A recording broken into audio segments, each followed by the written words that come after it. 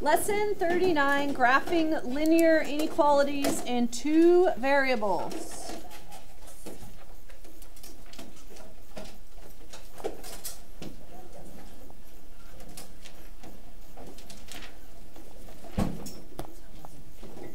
Now, when you learned this at a younger age, you were still learning how to graph straight lines. So it caused a little bit of um, stress for you. But now that you know how to graph the lines, we just have to figure out the shading part. So before we do any graphing at all, there sometimes you get asked a question such as this one. So this is an example. Is the origin 0.00 a solution to y is greater than 7 plus 2x? So when you're asked a question like this, just plug in for x and y. So then you ask yourself, is 0 greater than 7 plus 0? And the answer is no. So 0, 0 would not be a solution to that inequality. Heidi, question? Could you maybe like zoom in a little bit? Doesn't really help, but there we go. Okay, we're going to do just uh, two more examples like that. So is negative 1, 2 a solution to negative 5y less than or equal to 4x plus 3? So we have negative 10. Is that less than or equal to negative 4 plus 3? Is negative 10 less than or equal to negative 1? Yeah. Sometimes. Always. Always. On a number line, negative 10 Negative is 10 to the left. Equal to, oh, or. It's not an and. It's an or, yep. Okay. So now if I wanted to graph uh, this inequality, you're going to have part of your graph will be shaded. So if negative 2y plus 6 is greater than or equal to 3x. So we're going to graph on a coordinate plane. You know it's going to be on a coordinate plane because there's an x and a y. So we solve for y. We're going to subtract 6 from both sides and get negative 2y is greater than or equal to 3x minus 6. Then we're going to divide by a negative 2.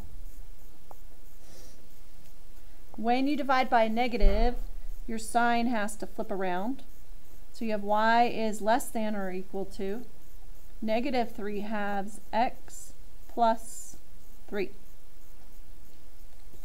Since the slope is negative, I know my line is going to have a negative slope. So I'm going to draw my coordinate plane.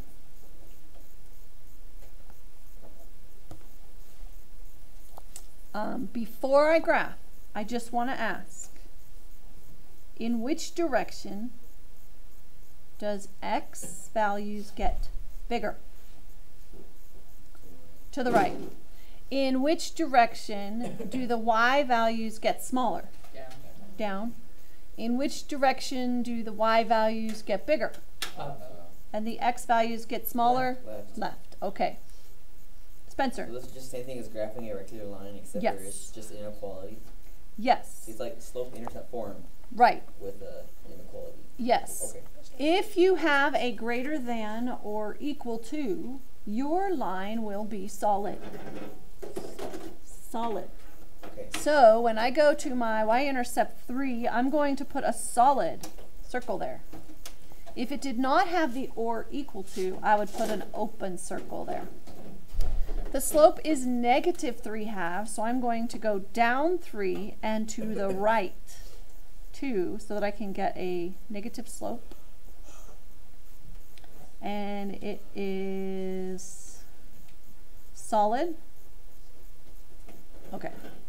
This says that y is less than or equal to. What did we say about y and which direction it gets smaller? Down. Down. So we are going to shade below the line or by where the y is getting smaller.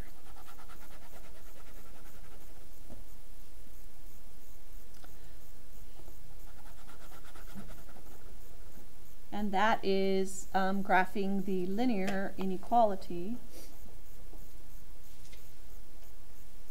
in two variables. Yes. So when it's just a not a great, not if it was just like less than, it would be like a dotted line. Yes. Does that mean the line would be discrete? Uh, um, it's You not a function. It's just a representation. Yeah. Okay. It just means that no point on the line would work in that inequality. True. That's what that means. Yes, Ben. So if you did this with like uh, three variables, would it just like be like a plane and then it would have like Three D. uh, Yep. But let's not do that. Okay, I'm giving you an example of an inequality in two variables that is not necessarily linear. In fact, it's parabolic. Wait, is that a word? I think it is. Okay. I just want to for the fun of it. And I'm the teacher, I can do what I want. Okay, so y is greater than x squared. And you guys know that x squared, this is like if it were equal to, it would be the parent function. So it's only greater than, it is not or equal to, so we're going to have open circles. Um, at 1 and negative 1, it's going to go through the point that point, and then 2 and negative 2 go through 4 on the y.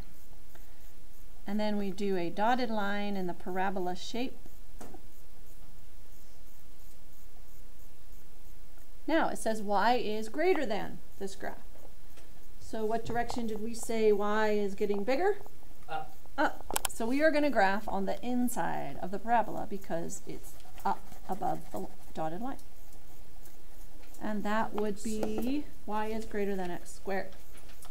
Okay, we are going to do some lesson practice, but I'm going to stop the lesson now.